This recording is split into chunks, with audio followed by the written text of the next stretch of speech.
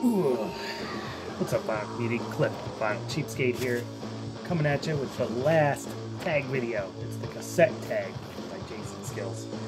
Uh, so, fitting, I thought I'd put some cassettes on in the background. Uh, what we're listening to is Psychic Void, and when the Psychic Void stuff's over, I'm going to put on uh, All Shock. So that's the stuff we'll be listening to on cassette once we're done. Uh, so this will be my last tag for the year. I'm exhausted with these tags. I think this is the fourth one I'm doing. So let's get rolling. So cassette tag, it's 20 questions, 21, there's a bonus. But uh, I'm gonna start with a tape from 2022. So first up, tape from 2022. We're gonna do the new Nightfell tape. This was released this year, early on in this year. Uh, picked it up because I really am digging Nightfell, and they only put out the tape, so I pre-ordered the tape and grabbed that. Uh, great band, Todd from Tragedy, and uh, I forget the other guy's name, but he's from the band Weregoat, I think, uh, which is like a kind of like a war metal band, but good stuff, both from Portland.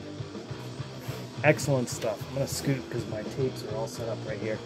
Uh, next, punk or new wave tape. I went with this uh, copy of The Kids. Uh, great 70s punk stuff. Excellent. This was released, uh, re-released earlier this year, I think. This is on, this one's on, was it Burger Records? I don't know. This is on Burger Records. Nice clear tape shell. Good stuff. This was really good. Uh, Troy Borman sent this to me in the mail and I appreciate it. Thank you, Troy. Uh, metal or hard rock tape. This is my bread and butter right here. Uh, but I picked one that's kind of like a metal and hard rock tape. Uh, Pagan Altar. The Room of Shadows. Uh, this is one of their newer ones. Uh, it was put out in like 2018, I think. It says on here. Where does it say? 2017. This was put out in 2017 before uh, the because this was a father and son playing on this uh, before the dad passed away. They put out this tape. Uh, really good, kind of like Sabbathy, um, Sabbathy style heavy metal stuff. Uh, new wave of British heavy metal. They were a new wave of British heavy metal band, but I don't think they put anything out or released anything till later. Uh, but great stuff. Pagan Altar. Excellent doomy metal stuff. Still sealed. Now this one isn't really sealed, but I never, I haven't opened it. Uh, it didn't come sealed. So, but it's a brand new tape. Haven't listened to it, haven't played it yet, uh, but plan on it. Flex, they're like a hardcore punk band. Uh, cool stuff, and I'm not 100% sure. I heard people talk about this band being good, so I and I found this tape for real cheap, so I picked it up to check them out, and I haven't even played it yet. But I will. The Flex. This is like a promo tape, I believe.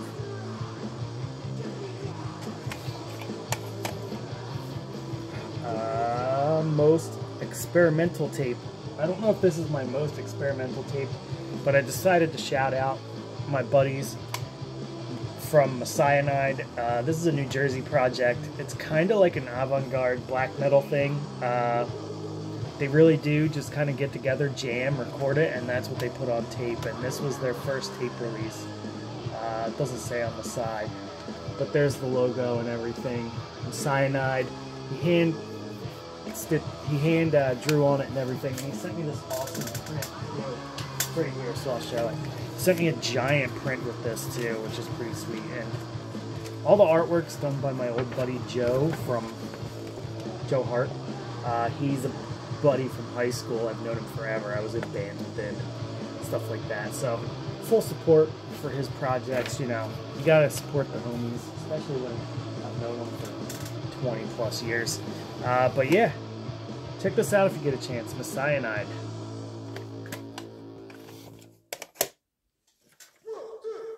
Let's go with an 80s tape. And I picked this Human League Crash Uh, I'm not super familiar with the Human League, but I know they're an 80s band. And I pulled this because I was like, well, all my other ones are going to be punk, hardcore, and metal.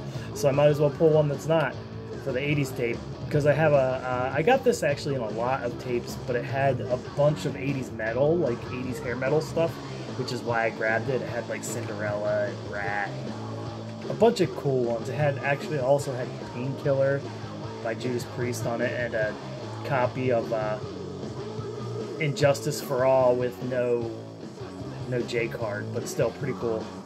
Human League, Crash. A hip hop tape. I actually don't have any hip hop tapes. I've only I'm limited on the amount of tapes that I have, but I did pull one of my CDs that's a hip hop CD. And I just got this and I got it for free. Picked up Heavy D and the Boyz Big Tyme. So some early hip hop stuff.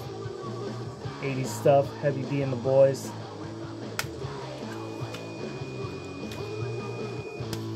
So yeah, pulled the CD for that one. Didn't have it. I, I really don't have any hip hop tapes or soul tapes. Uh, tape I have on vinyl as well. And that one was this blood pressure EP, which was also a gift. A friend of mine sent this. Friend of mine from Instagram sent this to me. Uh, just because he said he had a copy and he doesn't have a tape player. So he's like, "Do you want this?" I was like, "Yeah, man, I'll take it." And great, great stuff. Uh, completely blank tape though. I might have to write on that just so I could tell which side's which, maybe. But yeah, blood pressure, and then I picked up the CD from Celebrated Summer not too long ago. So, pretty sick. I gotta flip that tape.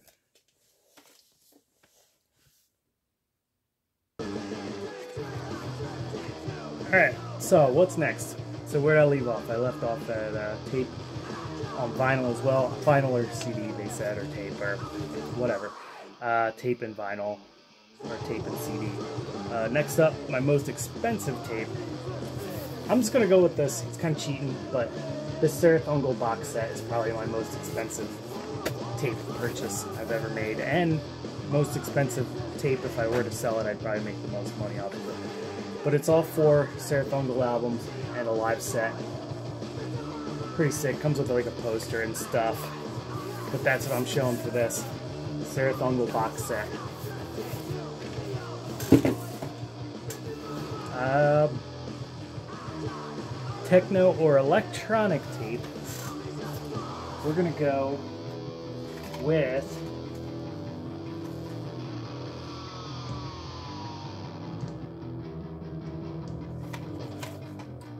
go with this one.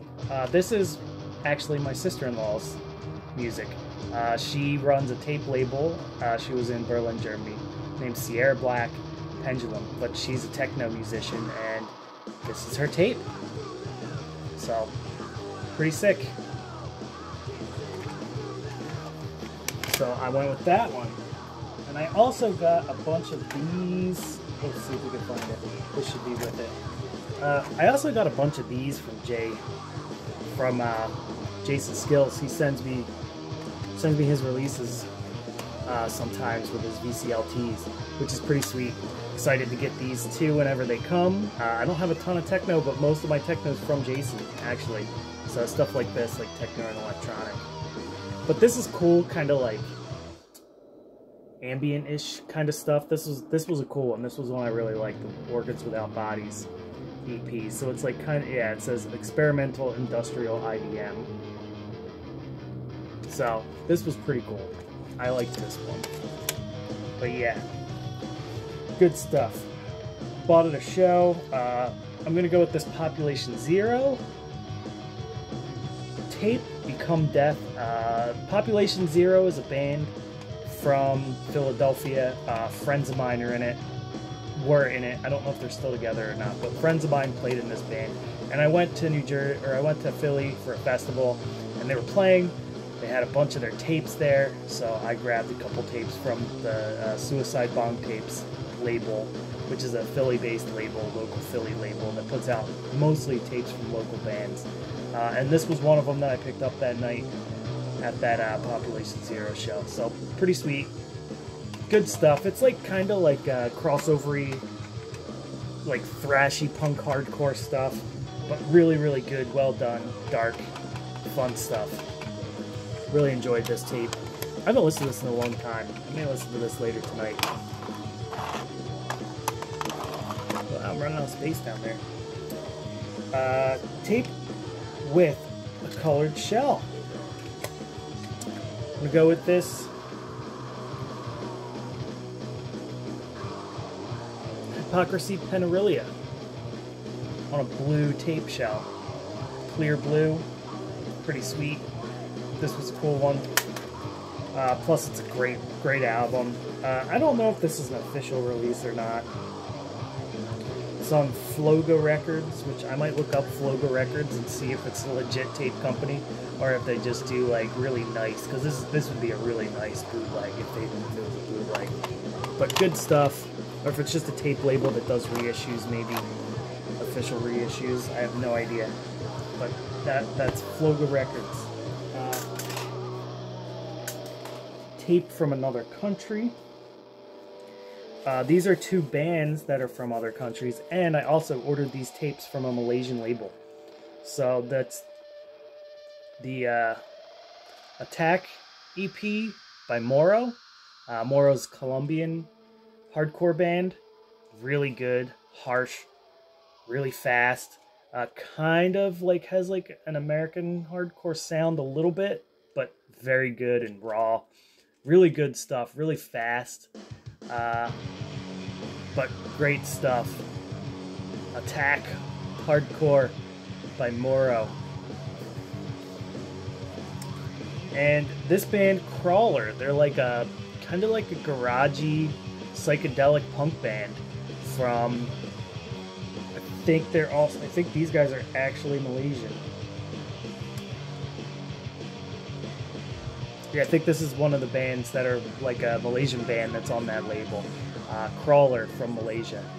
Great stuff. And both of these were on what the heck, were on Pissed Off Records, which was a Malaysian tape label that released a bunch of stuff and then I bought these before COVID, and then during COVID, they stopped mailing to the U.S. and they haven't been able to mail to the U.S. since. So, really, really a bummer. That was a great label, and they had all their tapes were pretty cheap and well priced, and the shipping wasn't that bad, which may have changed at this point. I have no idea. Will I buy more tapes in 2023? Yeah, probably. I don't see why not most likely I will. I like tapes. Uh, I enjoy collecting tapes. They're fun. They're portable. Fun to listen to. It's a fun format to collect for. I like the way that I like the way that the uh, the tape. You know, I like the way the tape uh, tape racks look and everything. And I got about three more tape racks that are empty. So why wouldn't I keep collecting tapes? Plus, they're the cheapest way to go if you just want to buy something and you don't have a lot of cash. Tapes are dirt cheap. What do I play tapes on? Uh, there's a few things I play tapes on. Uh, right now, I'm playing this on my main stereo, which is on the other side of the room, so I could pause it and walk it over there, but it's in a dark corner and you won't really be able to see anything. But what I will show is my boombox that I carry around with me upstairs if uh, I just want to listen to tape somewhere that's not in the basement. Uh, I bring my trusty boombox, which was from room 12215 on Franklin Square Elementary School, elementary and middle school. Uh, this was a thrift store buy, buy, and also has a CD player on top. And the CD player still had the paper thing in it, so it's a brand new CD player. So I don't know how much use this thing got, but sounds good to me. It works. And I got something cool to put all my uh, crazy punk rock stickers on. And heavy metal stickers. There you go, Pissed Off Records. But yeah, cool little boombox that I got. Uh, it's California, I think is the name of it, or California, California uh, boombox. So, old elementary school boombox, covered in stickers picked up from the thrift store. Uh, mixtape or blank tape. Uh, I do a mixtape exchange on Instagram, so I'm just gonna show one of the tapes I got from somebody in the exchange, and it was called Power Thrash and Mad. Uh, says uh, 20 tracks of powerful thrash insanity, and this is a this was cool because like everybody makes their own like J cards and everything, and they pull out. They have all the lyrics on it. There's nothing wrong with that, but still, it's cool, and they look good on a shelf with all the printed stuff on there. Uh, this has Helstar, Realm, Annihilator, Exciter, Damien Thorn, Laaz Rockit, Stealer, Overkill, Accept, Blind Illusion, Rage, Liege Lord, Hallows Eve, Anthem, Nasty Savage, Coroner, Watchtower, Metal Church, Omen, and Defiance. So it's all 80s thrash metal stuff. But this is a sick tape.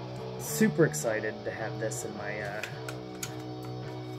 have this in my mixtape collection. I've got like a little mixtape collection. Maybe I'll do a video on those.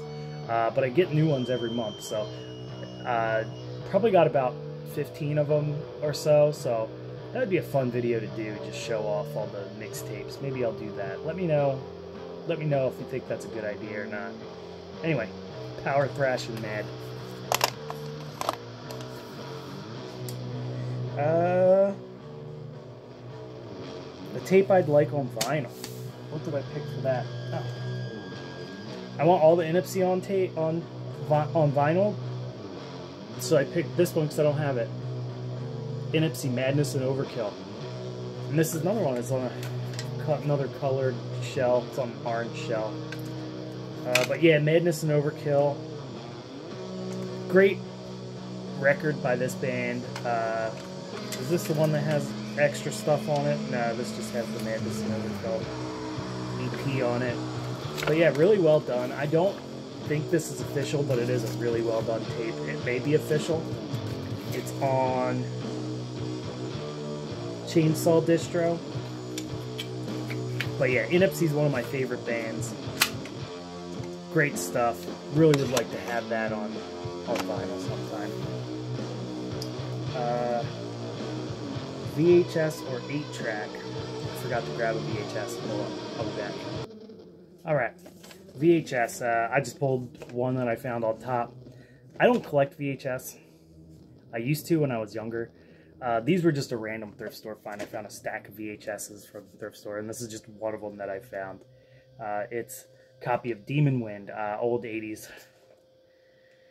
Oh, this is from 1990, so old 90s horror movie, early 90s. Uh, haven't even watched this because I don't have a VHS player. That's why I don't collect VHS.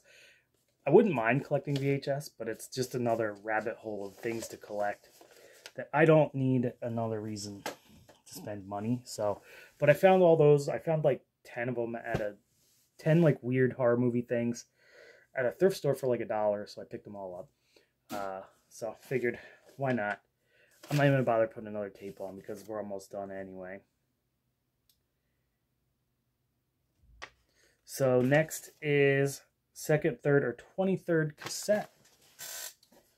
Went with 23rd cassette and the way I did this is my tapes are in order, like from here to there. So I just went from the top, counted through all my cassettes, and made it through all my uh, my mixed tapes and dubbed tapes, and then made it to the actual tapes. And ACDC Razor's Edge was the 23rd one. This is another one that was in that uh, group of tapes that I picked up with the Human League. But I like ACDC, so I was okay with having this. But ACDC, Razor's Edge. Cool stuff. And a double cassette or box set. This is a double cassette box set. Cülo, uh, great hardcore band from the mid 2000s. Uh, went on to become Tarantula, which went on to become Maneaters, which are excellent as well. Different. This these guys are more like straightforward hardcore punk. Uh, really no no no real frills, just short, angry, fast songs. Uh, always have great artwork on their stuff, which I think helps them help them to become as popular as they were. Uh, there's a big poster of this somewhere, but it doesn't fit in this box, so I put it in one of the Cülo seven inches. So we won't see that, but Cülo, they each came in their own uh, individual little tapes with J cards and artwork and everything. So I'm holding that upside down. So yeah, Cülo, great band. Uh, here's a picture of the guys, and one of the, I think the drummer passed away, and that's when they uh, kind of stopped doing this band and started doing the other band. Uh, but great band nonetheless. I actually got to see Tarantula live, and they were great. And this is also another one that's on Pissed Off Records, that Malaysian tape label, which now is, it's not defunct. They just don't send to the U.S. anymore. So if you look them up on Bandcamp, you can find all their stuff to listen to, but you can't buy their tapes because they won't sell to the United States anymore. But yeah, Cülo, what is this called? It's called Smashes, Thrashes, and Hits. It's a discography, double cassette discography of Cülo's stuff. And last bonus, cassingle. It's the only cassingle I have. Bought it at the thrift store many, many years ago. Uh, Iggy Pop's candy. Not the best Iggy Pop stuff, not the worst. But still, pretty cool to have. It's actually got it's actually got a well, it's only got two songs. It says complete program appears on both sides. So it's the same two songs on both sides. Cool stuff.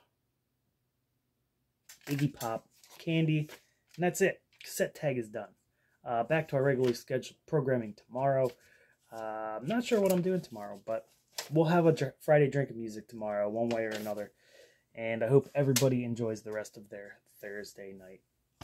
Cheers.